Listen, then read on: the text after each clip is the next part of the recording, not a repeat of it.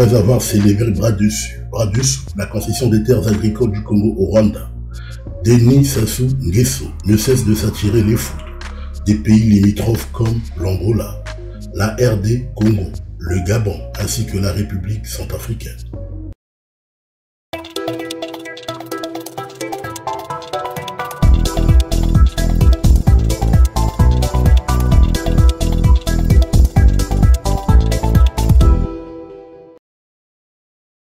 L'actuel président rwandais Yao Lorenzo avait dépêché un diplomate cette semaine à Brazzaville pour évoquer des questions sécuritaires, notamment sur le soutien du régime rwandais aux groupes rebelles dans l'est de la RDC. Pas seulement.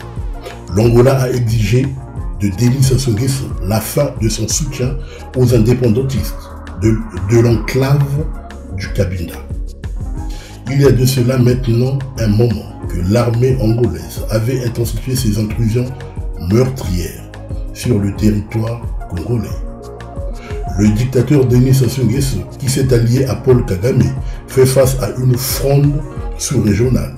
D'ailleurs, lors du dernier sommet informel à Luanda, le président Félix Tshisekedi, qui rencontrait son homologue angolais n'est pas passé par quatre chemins pour dénoncer l'attitude hypocrite de Denis Sassou dans la résolution de la crise qui le pose au Rwanda.